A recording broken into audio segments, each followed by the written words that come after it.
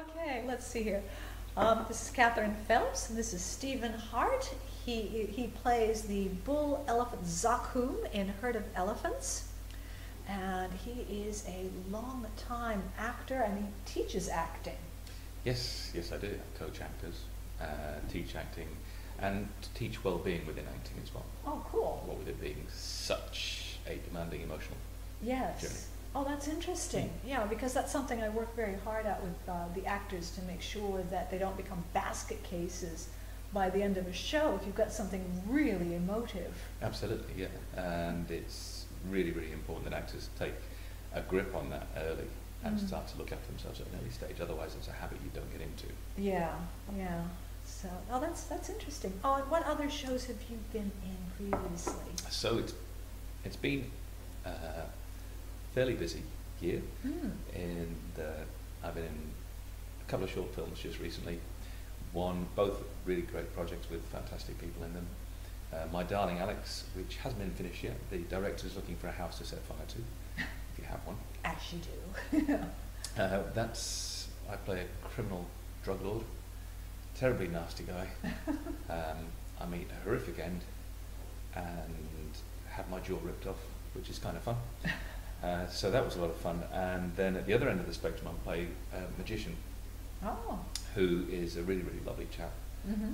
and gets on early stage dementia. And it's really about the decisions that his family has to make Mhm. and that his family are trying to make at the same time. So Yeah. it's quite heavily in the news at the moment, and there's an awful lot of myths and rubbish around that kind of stuff. So it's Yeah. a really, really interesting film to make. Yeah, yeah. Then, um, rather in line with, with misery and death, I seem to be dying a lot. I've just recently played Macbeth, uh, sorry, Macduff in Macbeth. So my entire family is destroyed. And then uh, Jason in Medea, in which my entire family is destroyed. Uh, so And you're about to play Heard of Elephants. heard where, Elephants, Zachem, where I'm about to get a grisly end. And your And family my entire family is about to be destroyed. not quite entire, but quite a few of them. So you can see that emotionally looking after oneself is not a bad idea. No, no. well, there you have it. Yes. In a nutshell, everyone around me dies gruesomely.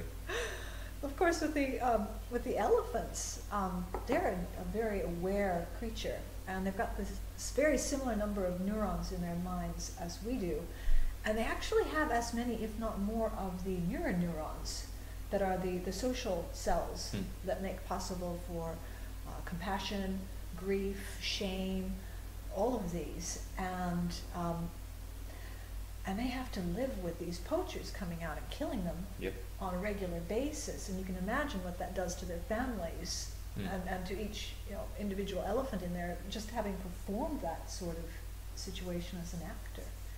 Um, have you done much research into, into how Zakun feels about things? well, why don't we go into what you have What I, what read I know about exactly. elephants okay. and, and what and what you, and uh, what has connected with you?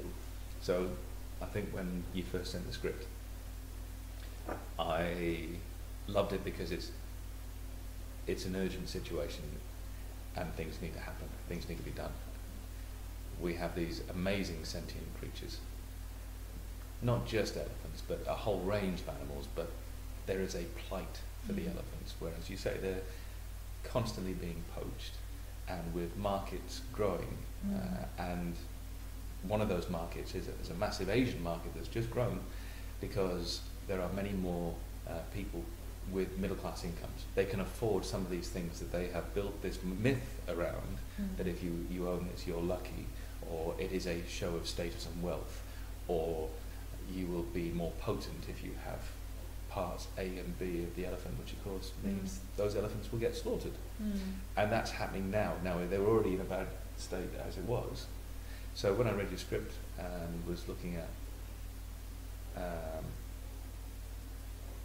whether it struck a chord with me or whether what was going to motivate me to get involved, it was it was purely that. Mm. I, you cannot look at, at a zoo, you can't look at elephants without realizing that they're sentient creatures. Yeah. I've seen some terrible footage um, recently of what they're going through, and even in zoos where we really are trying to look after them and preserve them, and that's that's the narrative we're given.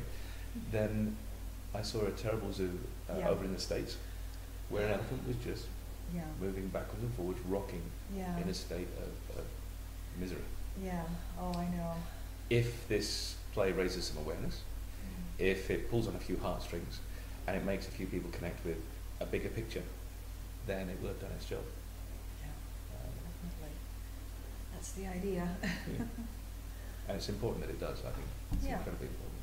Well, that's why I'm wanting to, to release it. Hmm. And uh, last night, we had a lot of people, uh, we had our opening for the crowdfunding Yeah. last night, and people were just going, yes, and um, the computer dudes really got it because of open source. I hang out with a lot of open source software people, and That's they knew exactly what I was on about, Yeah. which is great, because then they could help communicate it to the people who are unfamiliar with uh, things like open source and Creative Commons. Yep. So, And the thing about it is, it, it the, the people who will come originally will already be on board. They will Yeah. already be, will have their vote. They're right behind us. They know what's going on. They're Yeah. well informed. And the challenge is always to get the friends, the brothers, the sisters, the Mhm. other people who are kind of on board with it, mhm. suddenly have a greater insight and suddenly realise that affects me.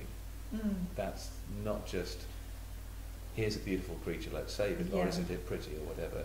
But this is this is a knock on with the ecology. This is something that once it has affected this creature, it will affect another one. I mean, there are Yeah. there are thousands of creatures about to become extinct, Yeah, yeah. and it's being driven by our needs, which we're we're marketing and we're making greater. They're not really needs at all. No, no.